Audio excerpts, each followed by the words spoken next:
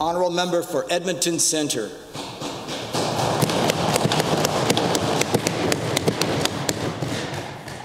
Well, thank you, Mr. Speaker. It's my distinct honor to rise today as a representative of the good people of Edmonton Centre to reply to the Honourable Lieutenant Governor's delivery of the speech from the throne. When I, when I, received the nomination to run as my party's candidate in Edmonton Centre just over one year ago, I couldn't have imagined that I would find myself standing here today in this assembly among such a diverse representation of the people of Alberta having the privilege and the responsibility of helping to lead our province. But having been awarded that honor, I embrace it with all of the joy and gravity I learned from one of my early mentors, a woman named Yin Lu. I met Yin in the summer of 1995 when I was enrolled in the outdoor leadership training program at Crowsnest Lake Bible Camp. Now, Yin was not your average woman, nor what one might expect from an instructor in wilderness survival. She stood about five foot six, weighed maybe 120 pounds. She wore large framed glasses, and her daily uniform consisted of a white lab coat, t shirt, khaki pants, hiking boots, and an ever present camp baseball cap. She was, in fact, a doctoral student studying medieval English literature. But she was also one of the greatest examples of a leader I've had the privilege of knowing. She was quite unassuming. I don't believe I ever heard her raise her voice. Yet Yin rarely, rarely had ever any trouble commanding respect. And that was because Yin led by example. One of the first things Yin introduced us to as part of our training program was the concept of servant leadership. Yin believed that the, rule, that the role of a leader was to take on the jobs that no one else wanted to do. Not only that, she believed that you didn't just do them with a sigh of resignation. Yin believed in taking on the things that no one else wanted to deal with and doing them with joy. The jobs, the problems that leave everyone standing around looking at their feet or quietly making for the exits, those were the things that Yin would make her own. She'd jump up after dinner and she'd race to the dish pit for the privilege of scrubbing the burnt pots. After a four day out trip, she'd be the first one to offer to stay behind and clean and hang the ground sheets to dry so that others could go and take a hot shower first. And you know what? That kind of attitude is infectious. It didn't take long before our group of trainees began to adopt a similar attitude. It became a game to see who could outdo the others in taking on thankless tasks. And that, I believe, is the mark of a true leader. Leaders inspire, they bring out the best in those they lead. And they do it not just by standing in front and telling others what needs to be done, they do it by rolling up their sleeves, getting down in the dirt, and working alongside everyone else. They do it by taking on the jobs no one else wants to do and taking ownership of the problems no one else wants to tackle. So, in the first months after my election as an MLA, I took the opportunity to immerse myself in the rich diversity of Edmonton Centre and connect with as many of the people, communities, and organizations who call it home as I could. And Mr. Speaker, I dare say that Edmonton Centre is one of the most diverse and dynamic constituencies in the province of Alberta. Between 2001 and 2014, the population of our downtown core more than doubled from just over 6,000 to over 13,000 residents. And that growth continues with 140 new residential units in 2015, another 1,500 currently under construction, and another 2,000 planned. And that population is incredibly diverse, including new Canadians, post secondary students, professionals, public servants, families, and seniors. They span all income levels, social classes, ethnicities, ages, and gender and sexual identities.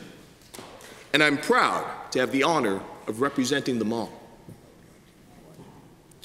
I've met with the Oliver and Downtown Edmonton Community Leagues, committed collectives of young leaders who have stepped up to build real community in our urban core through gardens, potlucks, community investment, local advocacy, and civic engagement, building a better city not only for themselves and their members, but for us all.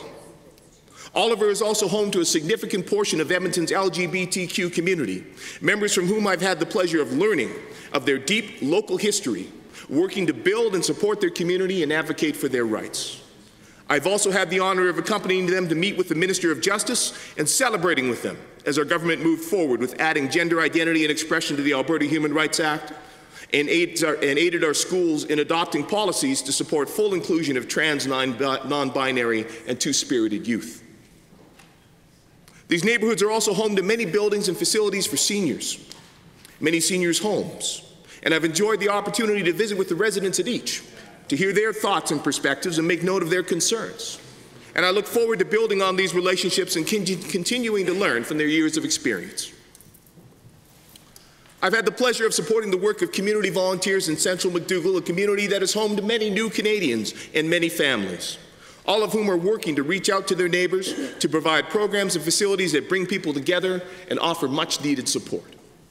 I've spoken with the residents of Queen Mary Park, also home to many new Canadians, who are regularly invited to connect with the longer term residents, again to build community and work towards a revitalization of these historic family neighborhoods.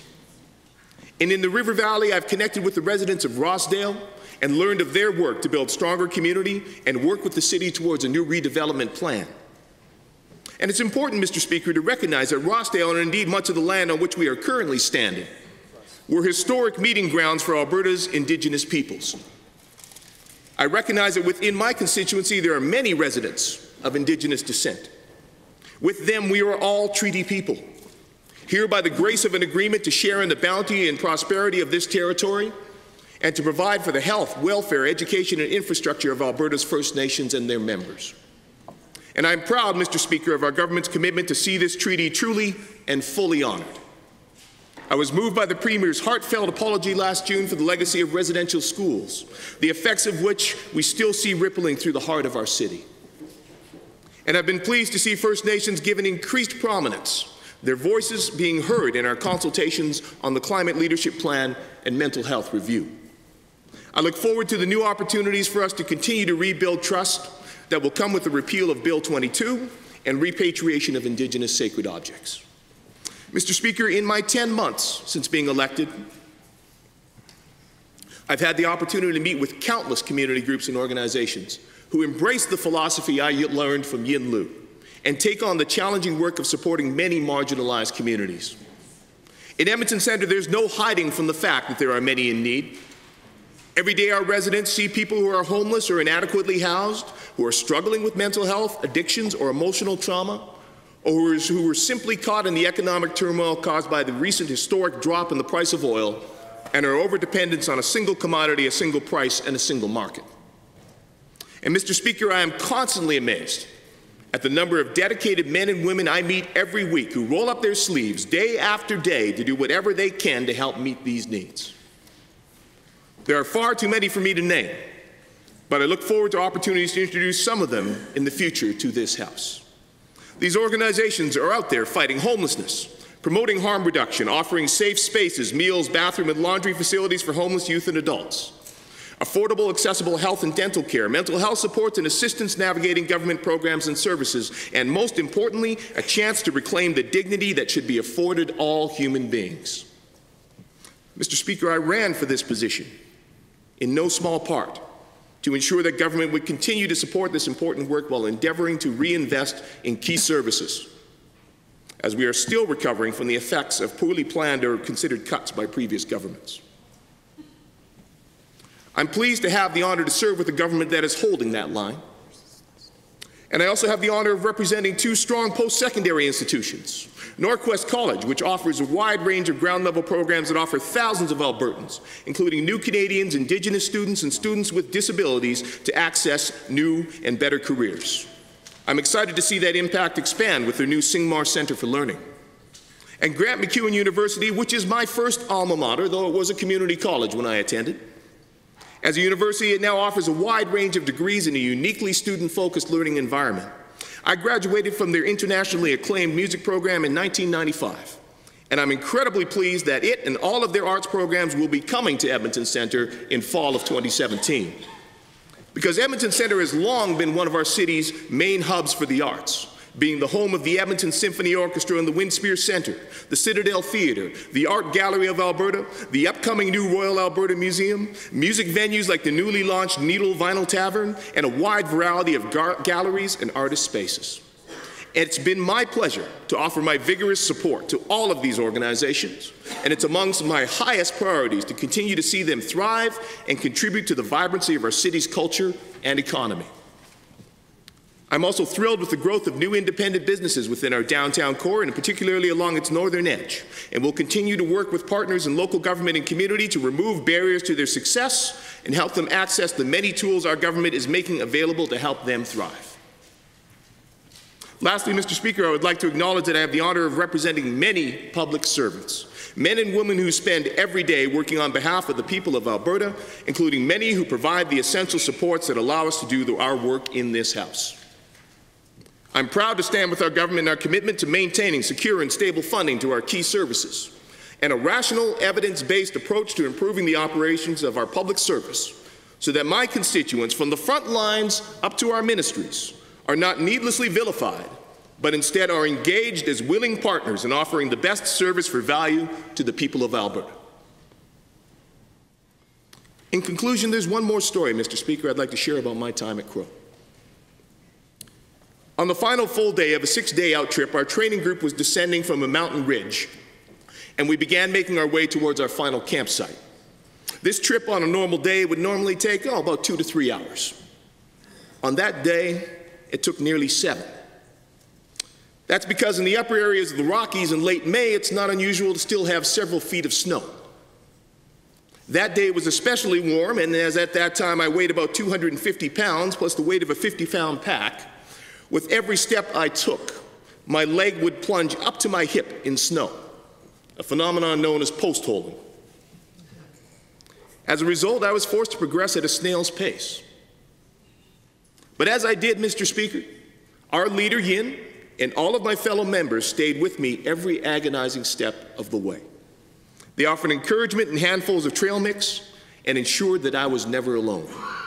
Because, Mr. Speaker, true leadership True citizenship, true community lies in not abandoning those in need and ensuring that no one gets left behind.